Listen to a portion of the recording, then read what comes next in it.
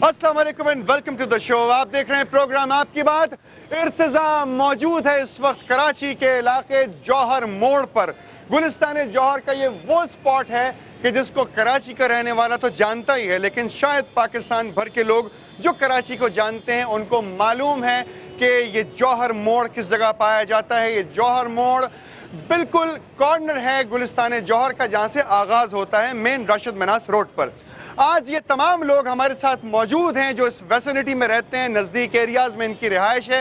कुछ लोग अपनी बसेस से उतर के इस प्रोग्राम को ज्वाइन करने के लिए हमारे साथ मौजूद हैं, क्योंकि मौजू गुफ्तु इतना संगीन है कि जिससे थक चुके हैं लोग आज तक कि कराची के अंदर या पाकिस्तान में असलहा बहुत ज़रूरी हो चुका है।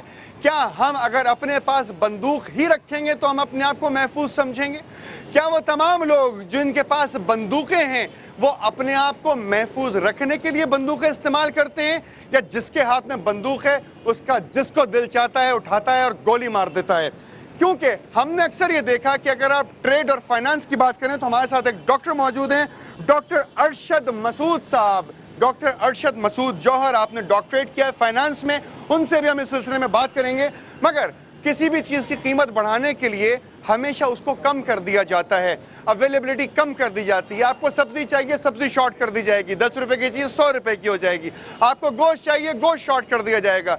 डॉक्टर हजरात जब अपना क्लिनिक खोलते हैं या हॉस्पिटल्स खोले जाते हैं तो क्या हमारे ख्याल में वो ये दुआ मांगते होंगे कि परवरदिगार, इस दुनिया से इन तमाम किस्म की बीमारियों को ख़त्म कर दे या नहीं कर दे? सवाल ये है कि अपनी ट्रेड चलाने के लिए हम दूसरा हरबा कौन सा इस्तेमाल करते हैं? तो क्या जो लोग असलहे के बिज़नेस में हैं, उनकी ये ख्वाहिश होगी कि हालात साजगार हो जाएँ। लोग एक दूसरे के साथ अमन व आश्ती के साथ रहें या एक दूसरे के दस्तों गिरेबा रहें। क्योंकि असला जो है, वो हिफाजत के लिए चाहिए। हिफाजत कब होती है? जब हालात ख़राब होते हैं, जब मुझे खौफ होता है कि ये मेरा हम शहरी जो है, ये मुझे गोली मार देगा। इसे खौफ होता है कि मैं इसे गोली मार दूँगा तो बंदूक इस्तेमाल होती है। अब वो बंदूक हिफाजत के लिए ज़रूरी है या नहीं?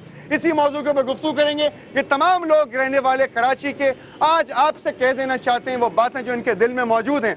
बात की जाएगी उन लोगों से कि जो अपनी बात कहने के लिए, आप तक अपनी बात पहुँचाने के लिए अपने तमाम कामों को छोड़कर आज मौजूद हैं। जनाब, क्या कहना चाहेंगे? कहाँ से बात शुरू की जाए? क्या कराची को आ, आ, क्या पाकिस्तान में क्या कोई शख्स असलहे के बगैर ज़िंदगी नहीं गुजार सकता? बिल्कुल गुजार सकता है यहाँ पर असले के बगैर भाई बंदी के साथ हम आंगी के साथ हम सब एक दूसरे के भाई हैं।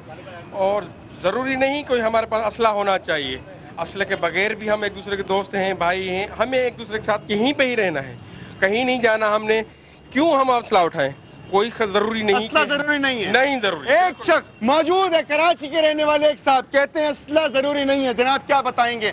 अगर असला ज़रूरी नहीं है तो इंसान अपने आप को सेफ़ समझे। बिल्कुल सेफ़ समझ सकता है। सबसे पहली बात कि हम मुसलमानों में अगर एक क्राइम हो रहा होता है तो उसको देख के आँखें बंद कर ली जाती हैं। मतलब उसको बोलने वाला कोई नहीं है। अगर एक के पास असला है तो दूसरा आँखें बंद कर लेगा कि इसके बाद तो असला है मैं क्या करूँ?